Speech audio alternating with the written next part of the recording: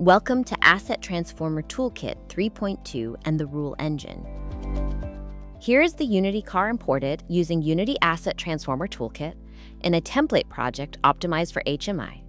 Let's create a simple rule with the Rule Engine to prepare the car. Rule 1. Remove UVs to optimize the mesh's RAM footprint.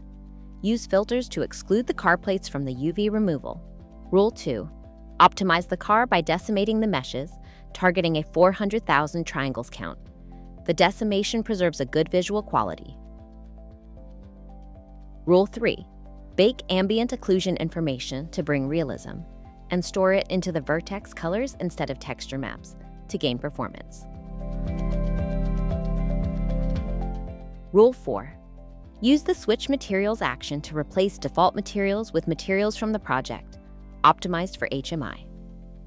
Finally, Place the drop-down shadows present in the project under the Unity car. At runtime, you get a HMI-ready car model, prepared and optimized in Unity with Toolkit, without the need for any external tool.